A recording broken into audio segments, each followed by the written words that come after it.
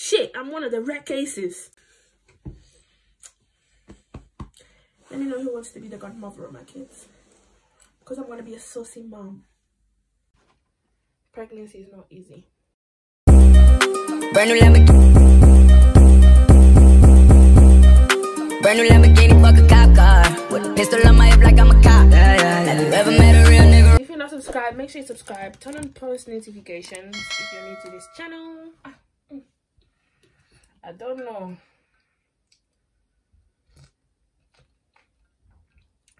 Who, where, when, at what time did someone look this good in their pregnancies with such a nice skin after using Shea Desire coconut butter. So I got sent this product by Shea Desire. I've used a little bit on my face. I don't know if you can see how it looks, but I'm going to use a little bit more. It smells really, really nice. I feel like this is quite suitable for dry skin because what it does to you and your skin and you can use it on your hair as well it's really nice so i'm really happy with the surprises oh like listen after you apply this your skin feels so good i can't lie. But yeah. I couldn't be asked to do my hair today um straight after this i'm going to bed. But i just wanted to let you guys know pregnancy is not easy. I haven't had an easy time being pregnant of YouTube motivation.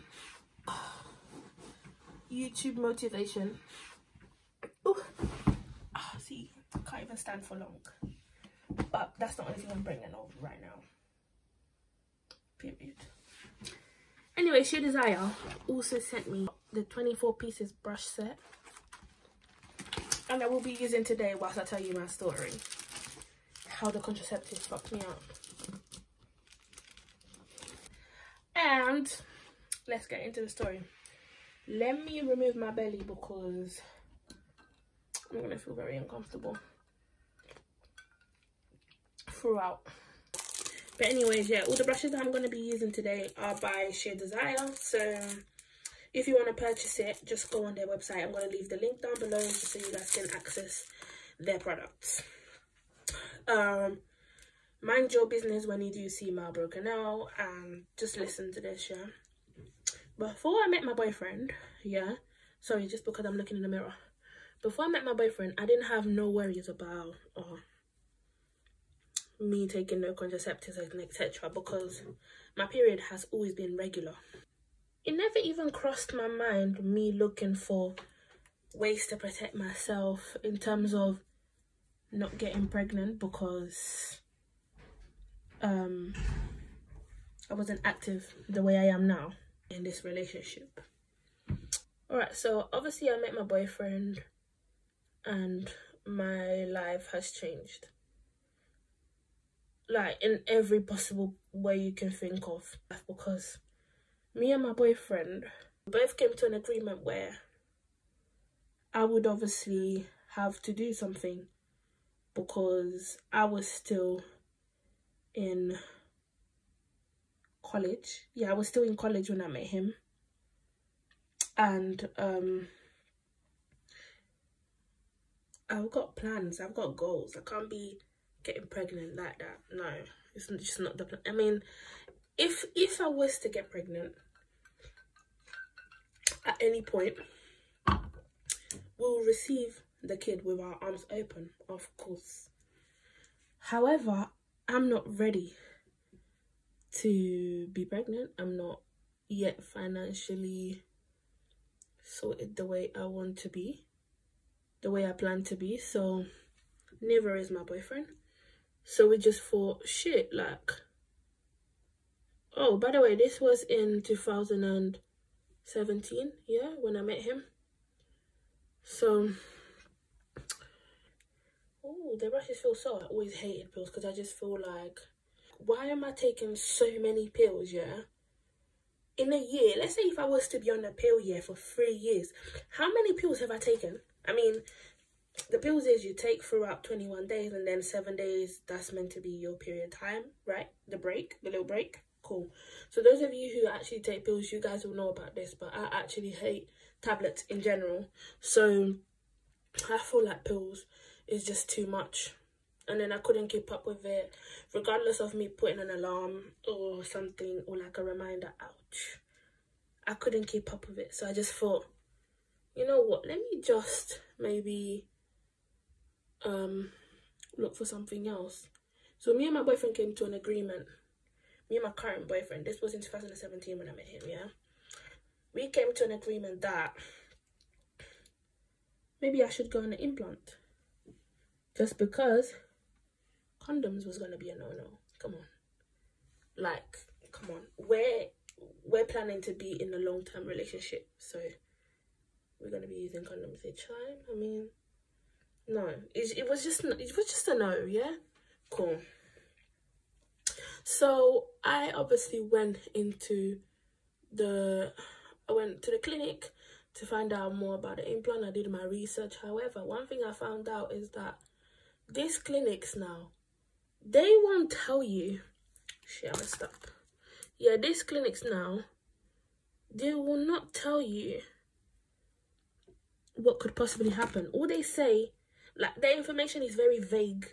So they'll probably say oh yeah like everybody's different.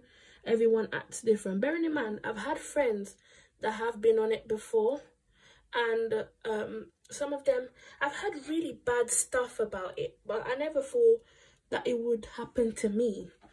So I thought, shit, like, maybe this will be good. I know everyone reacts different to things, but I won't know how I react until I've actually done it. So I'm not talking for anyone else's experience. I'm talking from, from my own experience, yeah? it's done to me. So maybe you're watching and you've had the implant before and it was really good for you. In my case, let me explain you how this shit went, yeah? So I must have went there, informed myself, put on the implant, blah blah blah. So me and my boyfriend, our sexual life was, you know, getting better and better.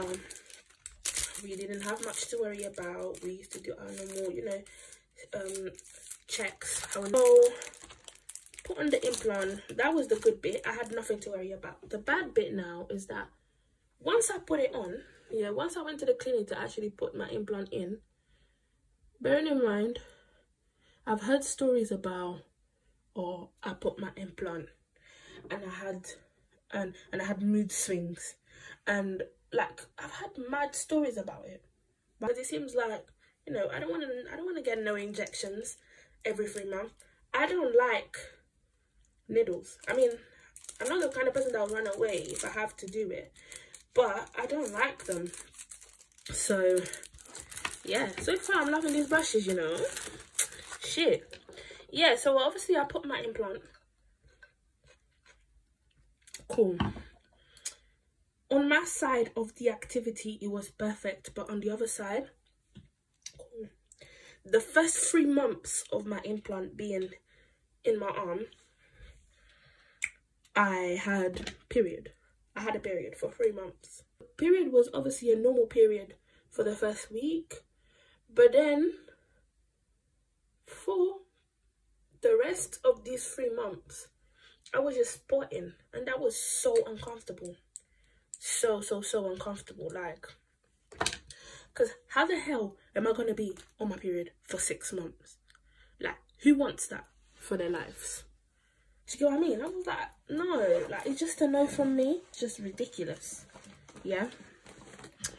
So I thought, let me go back to the clinic and let them know that I've been on my period for a really long time now. And it's a little bit uncomfortable so I went back to the clinic and I let them know. Um excuse me I have actually been on my period for so long for like I've been not proper period. And the woman was like to me oh yeah that's fine. Is normal. Uh, one thing I realized yeah everything in this country is normal.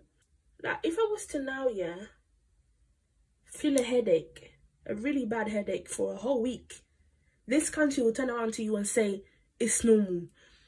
If I was to now, yeah, feel a really sharp pain in my belly, this country would turn around to you and say it's normal. Everything is normal to them. Funny how? It's a fun fact because I don't understand what's normal about a pain. From the time someone is feeling some sort of pain, that is not normal. You've got to investigate what is going on. At least in Portugal, which is the country where I was born, I'm sorry, but if something is wrong with you, they're not gonna make you sit there for ages. Do you get what I mean? They're not gonna say, "Oh, go back home." They're not gonna, you know, not say it's normal because they know it's not normal. So they're probably gonna investigate. They're gonna tell you what to do next. They treat you, yeah, the way they treat you in here is ridiculous. It's like they want you to die first to then say, "Oh shit, she was actually suffering." Do you get what I mean? This is why a lot of people go to the hospital and they lie. A lot of people go to places and they have to lie to get away with things just for the simple fact that these people don't take you serious if you go and say oh i'm feeling pain here. They take you serious. Back to what i was saying. They was telling me it was normal to be on my period for three months. So i was thinking in my head yeah how the hell is this normal? But i was still calm yeah cool. After three months my period went. My spotting stopped. But when it stopped it stopped. Like as in it didn't come back anymore. And I've heard stories of people that will basically be on the implant, but the period still comes every once in a while. My one completely stopped. But I thought nothing of it because I went back to the to the hospital to the um, sorry, I went back to the same sexual clinic where they've obviously inserted the implant in my arm and they're telling me, oh, it's normal people and the woman was like oh you're very lucky she was like to me oh you're very lucky that your period is not coming you're one of the rare cases because your period is not coming usually your period will come you're one of the rare cases so i thought oh shit anyway i thought shit i'm one of the rare cases i felt very special i can't lie i was like oh shit like this must be a good thing since I'm one of the rare cases. She was like, yeah, because some people, their period doesn't stop, blah, blah, blah, blah, blah. But that was kind of me at the beginning. Like, my period did not stop for three months.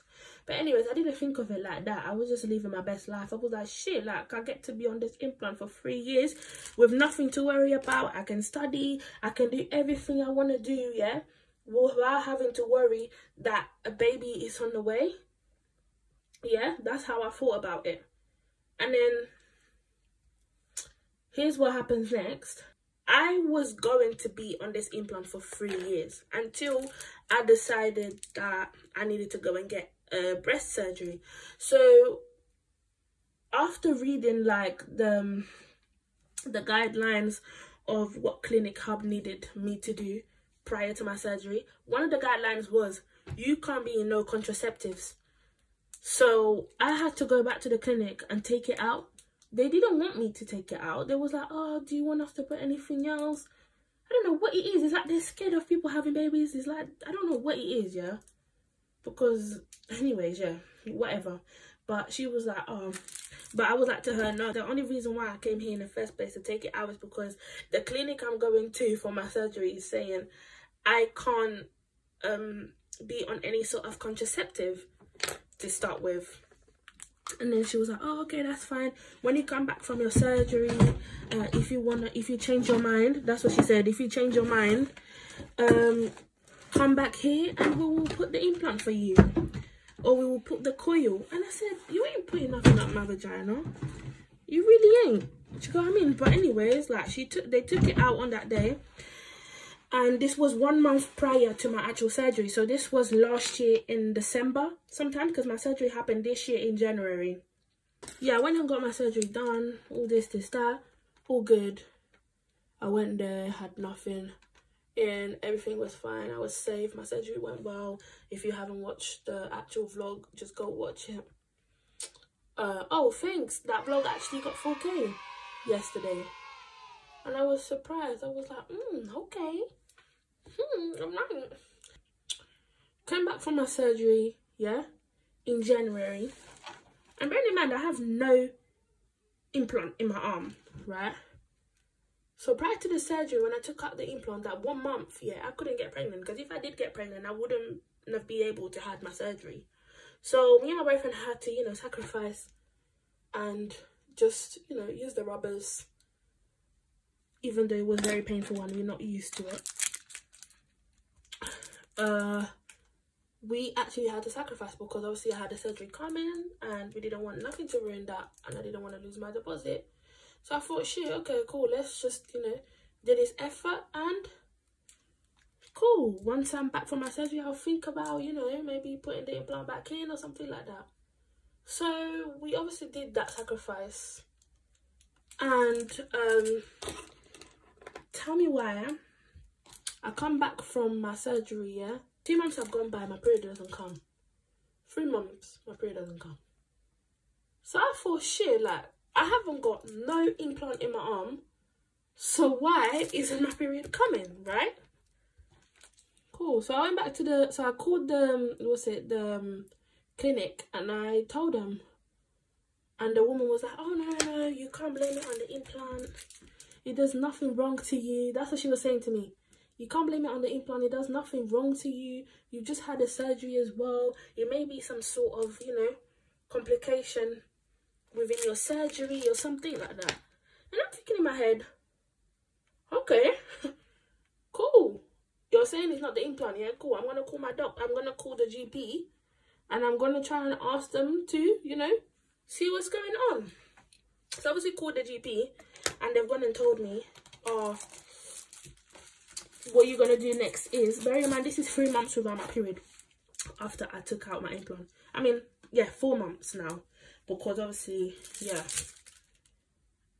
yeah, four months. So I've contacted them because I'm starting to get worried. In my head, I'm just thinking, why isn't my period here? So I called and they was like to me, so what you're to do next is you're to have intercourse for two weeks with your partner and you're going to keep taking pregnancy tests. But make sure when you're having intercourse, you have it with condom. So we were just like, okay, cool. We're going to do that then. So we did that. And every test will come back negative. And bearing in mind, we wasn't actually trying to have it. Yeah, we wasn't trying. But at the same time, it's like, after my surgery, I thought, I'm not going to get myself back on the, the implant if my period still hasn't come. It just doesn't make sense. And even the clinic itself told me we can't advise you no further contraception if until you know what is going on with you. And I thought, yeah, that makes sense. So the only choice I had was to really use condom anyway. So me and my boyfriend did that. Yeah, we used a condom for two weeks and I kept taking pregnancy tests here and there and all of them was coming back negative.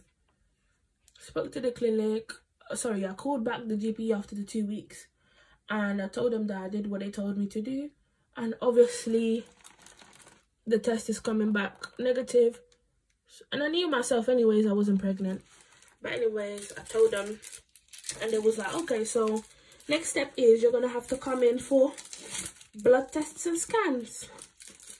And I thought, okay, let's do this. There's me overthinking bears. I was like, what the hell is going on with me? Because no woman wants to ever hear you can't have children. And I was like, if I'd never put the implant, I would have never gone through what I'm going through now. If that makes sense. What I was going through at that moment.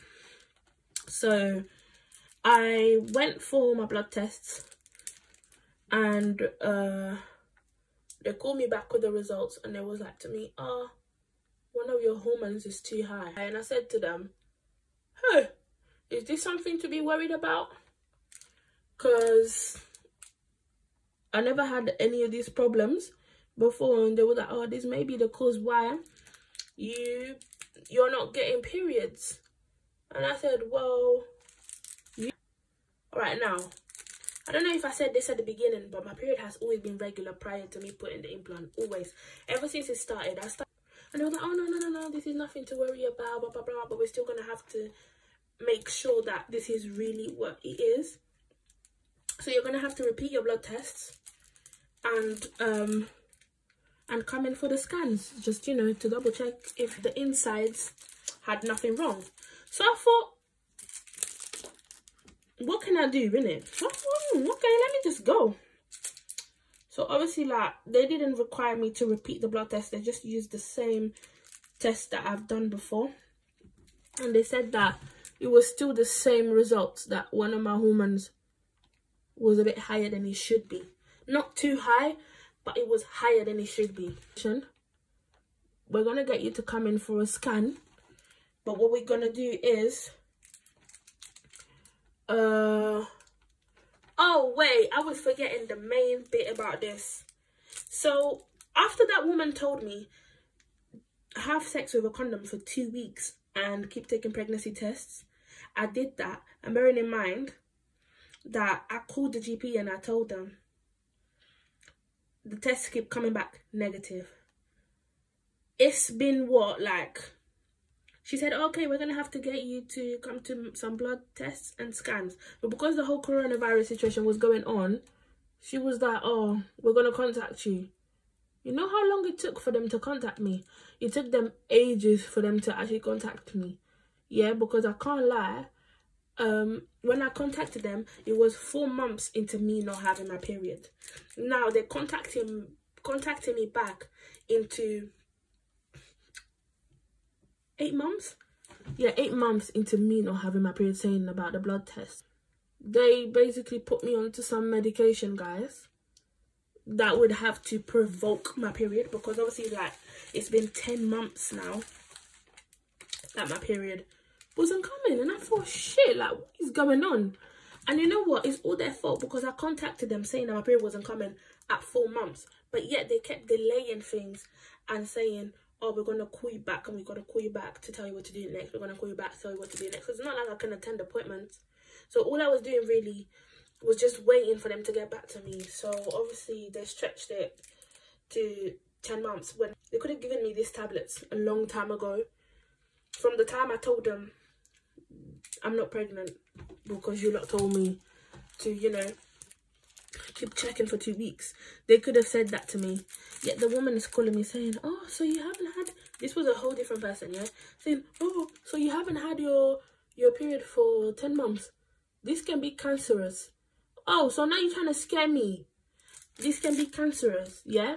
Because it's not healthy at all for, uh, for a young woman not to have their period. You know what I mean? That's why a lot of girls have like irregular period and they have to go through some treatments. They've always got to go and check themselves and etc. Some people struggle to conceive. So I don't want it to come to a point where I'm ready to have a kid and I'm trying, but I'm not being able to actually conceive. I didn't even know these things existed.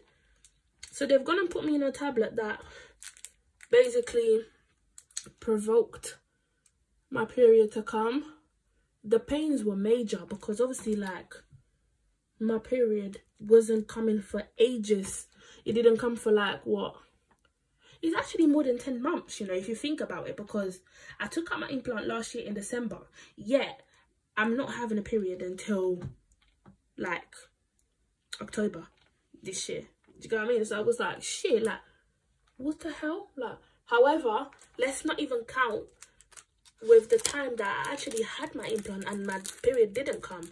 So I'm just going to think of it like, no, maybe it's because I had my implant in, yeah, that my body, you know, that my hormones changed, that my period didn't come. That's how I thought about it. I know I wouldn't have gone through all this stress if I never went on the implant in the first place. Us girls, we need to be very careful with the kind of things that this shit does to our bodies because it's not safe for us not to have a period. And even though I never used to like taking the pills they were one of the most safest pills and condoms really. In terms of like you having complications afterwards I feel like the pills were fine to me until I actually went on the implant. And it messed me up it messed my hormones up. My body didn't like it and it didn't react good to it. I'm not gonna go on any more shit because what if it does something wrong to me? Like I'm so paranoid now because obviously like this because the um, implant has obviously done what it done to me. So now I'm paranoid on if I do go on another contraceptive, then what's gonna happen next? Like I'm just scared. So I'm not even gonna think about going onto any other thing anymore. I mean, you know,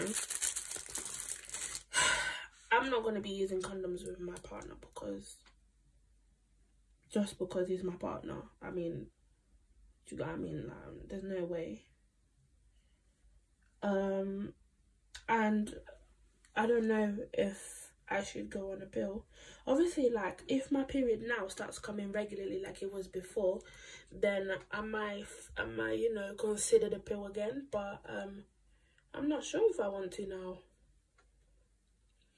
If it happens, it happens. I mean, we're not gonna say no if we have a child. You know what I mean? We're not gonna move mad. First of all, we're against abortion and we know what we're doing. We're old enough to know what the what this comes with. That's basically what happened to me. I didn't have a good experience with my implant. I thought I was having a good experience, but I wasn't. Because obviously when I took it out, that's when I saw the complications. I'm not going to do too much makeup. I just did this just so I could, you know, review these Shea Desire makeup brushes. They're actually amazing. I love the pack where they come on. They are very good for, they're travel friendly. So if you was to, to travel, you can take this with you. And yeah, bitch. I mean, let me know what you guys think in the comments about this situation.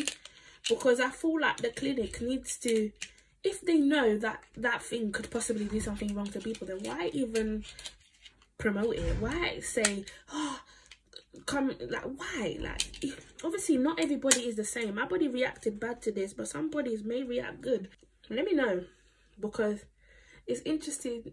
It's interesting for the girls to sometimes talk about what goes on with our bodies and alert other girls.